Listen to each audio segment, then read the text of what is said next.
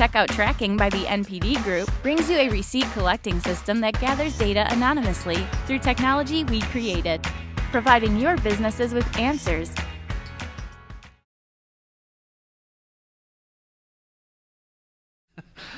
Okay. Uh,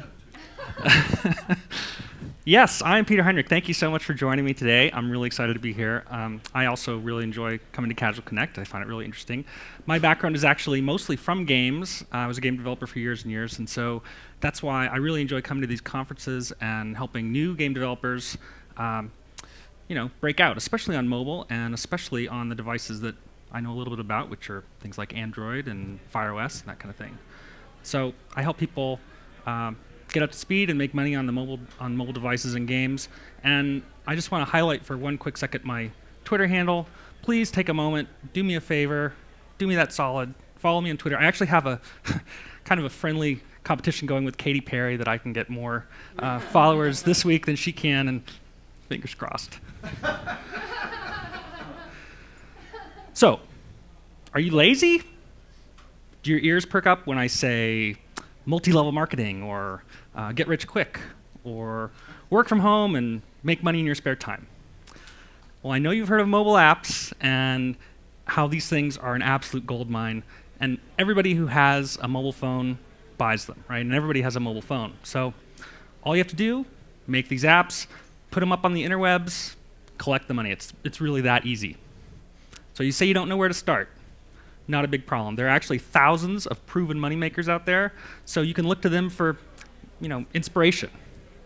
And if you're not really sure exactly how to make these great money-making ideas work for you, it's it's okay, don't worry. You just need a few basic computer skills, and you really have to have that desire to succeed.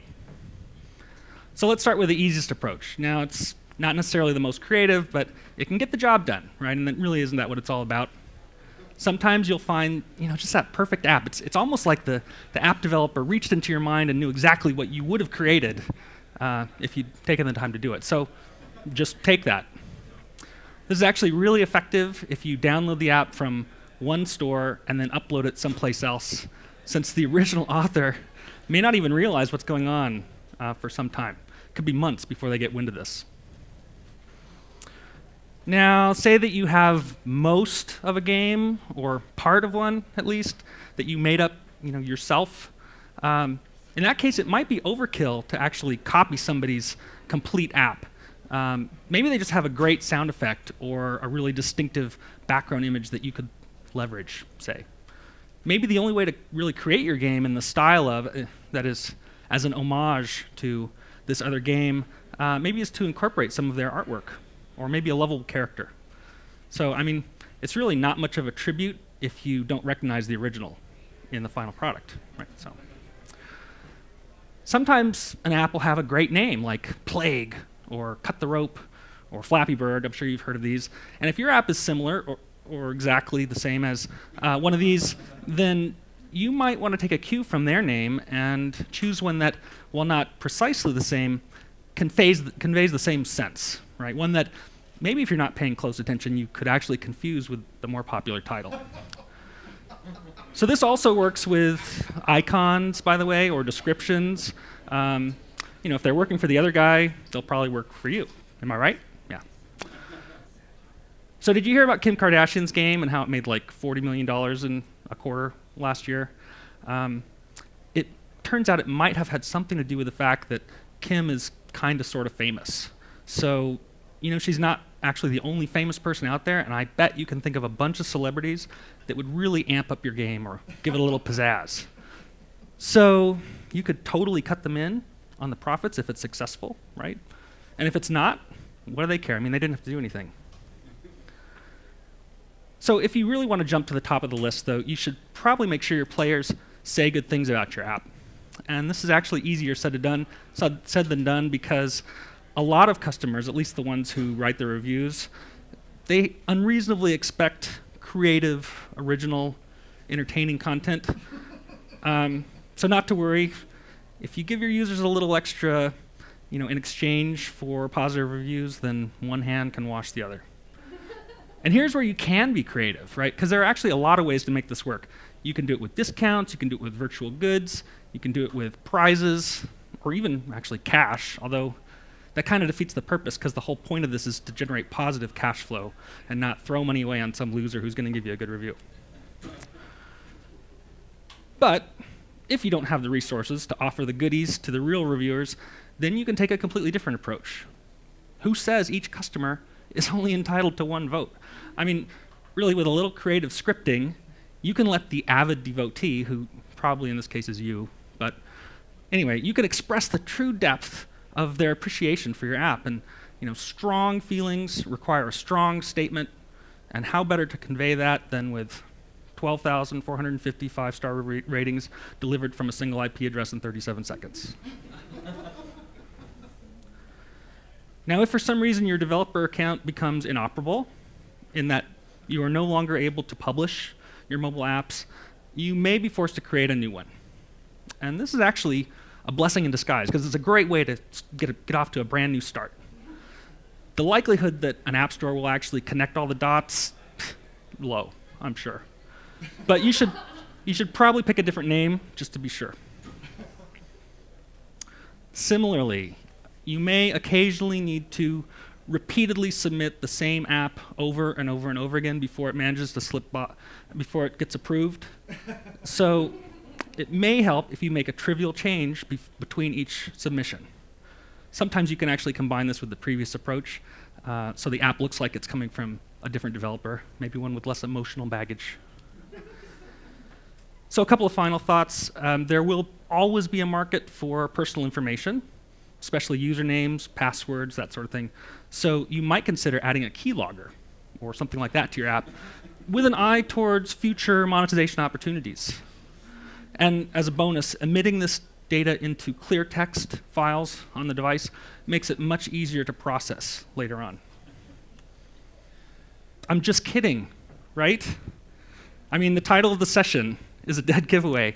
Even if my sarcasm was lost, I'm sure it wasn't lost on anybody. But, um, but these are all submission practices that will definitely get you banned, right? Uh, at least from most app stores, the reputable app stores.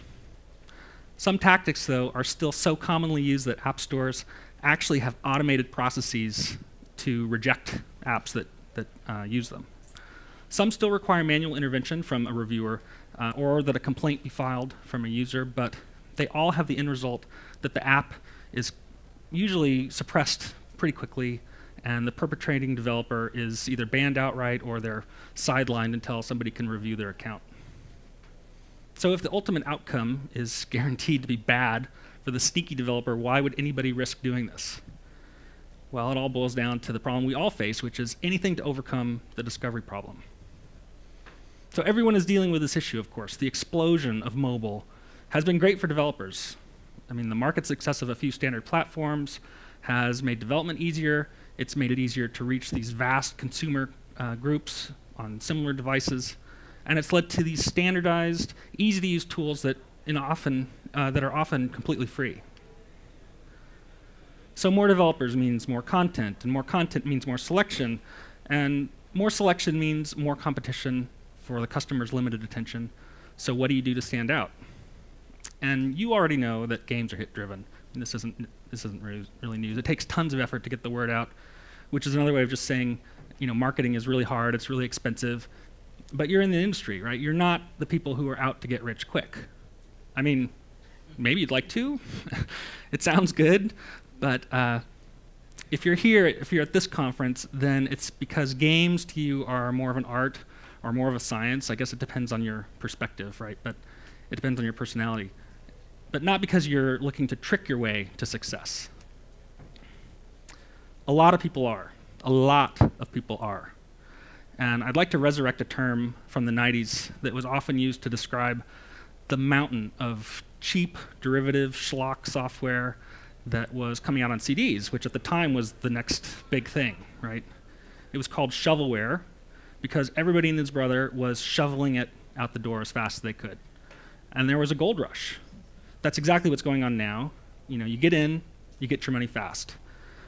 The mobile marketplace is really the victim of its own success because You've got dilettantes and speculators who are rushing to exploit this platform. They have no interest at all in the quality of the uh, content that they're producing, let alone the sustainability. So how much does this actually contribute to the geometric growth of every app store? I don't, I don't know.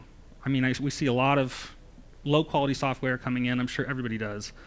But every app store has had to find ways to avoid inundating their customers with more selection than they can process.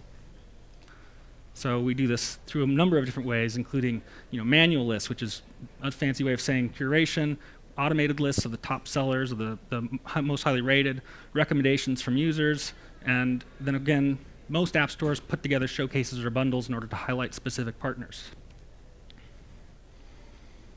So this talk sort of grew out of my limited experience with the bad actors on the Amazon App Store.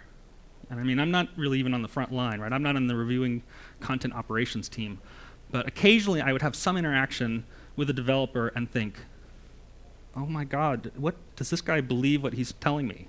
I mean, can he honestly think that what he's doing is honest? And it happened enough that I thought, man, we have got to close ranks against these guys. It was just so depressing to think how much effort all the indies have to go through in order to counteract the noise put out by these clowns.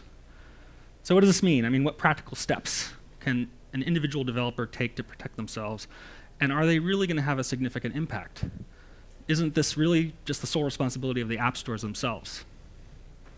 Well, in answer to the last question, no. Everyone can help make the mobile marketplace better. First, and it probably goes without saying, but it's definitely worth repeating anyway, don't do any of these things yourself.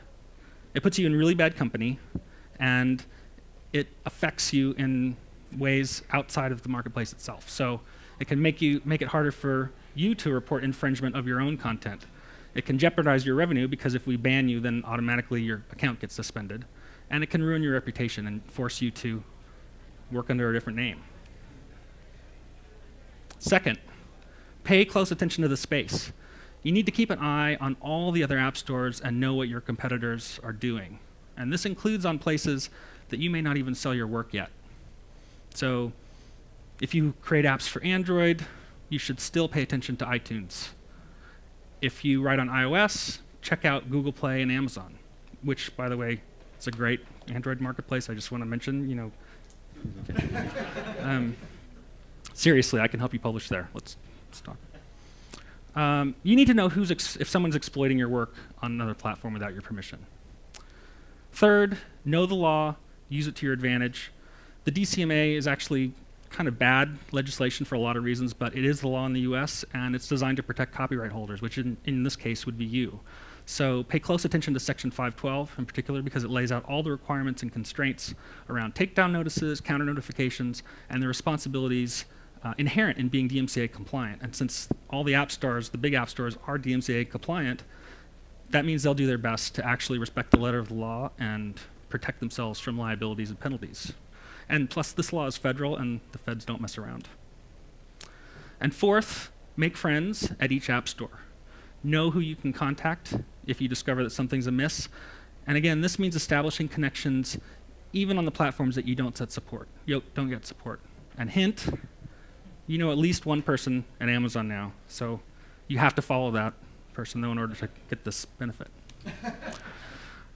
Fifth, join a community. So this means reaching out to other developers, introducing yourself, building connections with other people who make or play games, especially the ones in your own genre, because they can watch your back, you watch theirs, and you help each other spot copyright infringement and imitators and ripoff artists. And finally, the best defense is always a good offense. The best way to be successful, even in the face of the imitators and the copyright infringers, is to generate actual, genuine value. So being creative, original, distinctive, it's the key to achieving App Store rank for real. So what does this have to do with anything? Well, unfortunately, creating value is not something that you can flip a switch and you know, do with a wave of your hand. You uh, kind of have to work at it. But there are some pretty tried and true strategies that can help during the process. So let's call these the best practices to counteract the sneaky tips. So this is an old joke with a grain of truth. And if you're a creative person, it's really easy to see this in a, in a cynical way, but I prefer a more constructive way to think of it and say, you know, people are comfortable with the familiar. So you need to look for ways to connect your app with, with what the customer knows. And this could be a game mechanic or a look and feel or reward structure, maybe a plot device. It doesn't have to be a complete knockoff to succeed, but it has to resonate somewhere or it won't even make the customer's device. Don't reinvent familiar controls. Uh, make sure that people get to leverage the skills that they've built up in other games. So if you're making an FPS, you know, movement is probably the left stick, camera is probably on the right stick. Don't make somebody relearn that. Choose the right business model for your genre. You know, advertising for evergreen apps like um, Solitaire is a good example. Premium for specialized functionality or an audience that ages out, like you know, uh, learning software for first graders or first-time home buyers or something, somebody who's going to be coming in and leaving right away. And then probably free to play for everything else. You know, again, know your customer, design appropriately.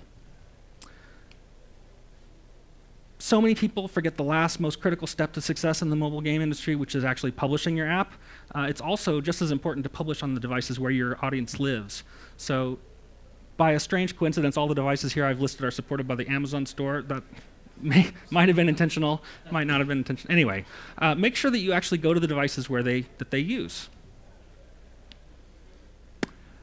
Yeah, this is actually one of my favorite quotes. Um, and it may be true that marketing is the tax you pay for being unremarkable, but in the context of the mobile marketplace, it's actually critical. Uh, there will always be examples of apps that become successful without marketing, but the developers who are consistently successful don't take chances. So when it comes down to it, you're really the ultimate mover and shaker for your own app. Self-publishing, as its simplest, means that no publisher is helping you to sell. But another aspect of self-publishing is that you alone know your customer the best, and you have the best understanding of how to get the word out. So regardless of the approach you take, make sure you get the basics right. This means having a good name. Uh, it may seem silly or obvious, but the name is actually kind of critical. Goat Simulator tells you everything you need to know. Be distinctive. Uh, avoid overly common words or phrases uh, like book list, because potential users are going to be coming to your app from a lot of different places, possibly a search engine. You don't want to make them wade through hundreds of unrelated results. Write your description like a dating profile. You know, start with a bang because the first line really sells. Highlight the standout features. The second paragraph should really hit all the high notes and explain your advantages over the competition. Use compelling subheads and begin each section with some written artistry to get users to keep reading. And then details really do sell. Creative titles reel them in, but it's the details that convince the users to download. Many great apps are completely overlooked just because their icon sucks. Choose attractive screenshots and videos, put your best foot forward, and remember a huge percentage of app discovery comes through search and recommendations. So consider how your assets are going to look right next to all your competitors. And finally, leverage your catalog. This means the more titles you create, the more noticeable you are, and a catalog of apps actually allows you to cross-promote them. Uh, it also allows you to build your personal brand, and every new release is an opportunity to bring users back. So you can send an update saying, hey, check out my new game, or hey, you played Bubble Tumble, we just released Bubble Tumble 2, etc. Just use every avenue that you can to get the word out, and this means reaching out to your own network, using social media. Make sure your app has a Twitter account, for instance, even if you don't. Uh, enter competitions, blog, use YouTube, use Twitch. I gotta get myself a Twitch channel. That's a, such a great idea. And reach out to the influencers and advocates who can help you spread the news.